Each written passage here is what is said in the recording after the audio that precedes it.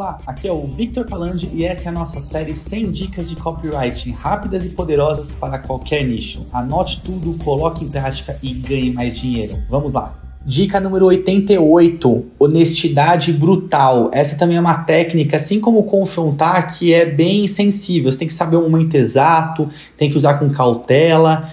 E ela pode ou dar muito bom ou também estragar a sua, a sua argumentação, tá? Honestidade brutal é você pode usar no começo, você pode usar no meio, no fim, mas é você falar alguma coisa que uh, que é direto ao ponto e que às vezes não é o que a pessoa queria ouvir, tá? Então, por exemplo, você vai começar uma carta de vendas e você começa dizendo, olha, nessa carta de vendas eu vou te vender alguma coisa, tá? vou te vender um treinamento e, e se você só quer conteúdo de graça, ah, não, não gosta quando as pessoas te ofertam nada, você acha que isso é errado, então você pode sair dessa página, porque eu vou te passar um conteúdo muito bom e depois eu vou te vender alguma coisa. Você pode decidir comprar ou não, mas se ver a minha oferta te incomoda, então é melhor você nem continuar assistindo. Né? Então, honestidade brutal.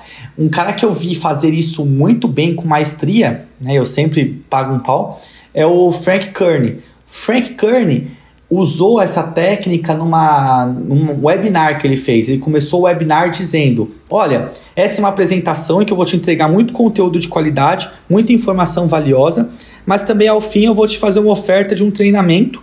E se você achar que faz sentido para você, você pode escolher se inscrever ou não no treinamento. E se isso te incomoda, também você pode nem continuar assistindo essa apresentação, mas eu vou te entregar conteúdo muito bom, então mesmo que você não compre nada, vai valer a pena. Ou seja, ele foi brutalmente honesto. Né? Falou tudo ali. Falou que ia entregar um conteúdo bom, falou que depois ia vender alguma coisa, etc, etc. Falou tudo. E o que é legal também disso é que quando ele fala isso, as pessoas já sabem que, vão, que vai ter uma oferta. Então quem decide continuar assistindo é, já tem uma certa abertura a ouvir o que ele vai ter a vender, entende? Então também é legal porque você perde algumas pessoas que vão falar, ai, mais um querendo me vender alguma coisa, sabe? Aquele pessoal chato que raramente compra alguma coisa. E o pessoal que realmente não liga, como foi o meu caso, eu continuei assistindo de boa. Falei, oxe, eu sei que você vai vender alguma coisa, né? Então honestidade ali foi até um ponto interessante.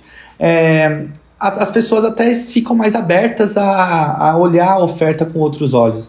Então é uma técnica legal que você pode usar aí, dependendo do nível de consciência do seu público, dependendo da oferta que você for fazer, enfim, tem que ponderar bem, mas é mais uma ferramenta que você vai ter em mãos aí para utilizar na sua copy. Bora para a próxima dica.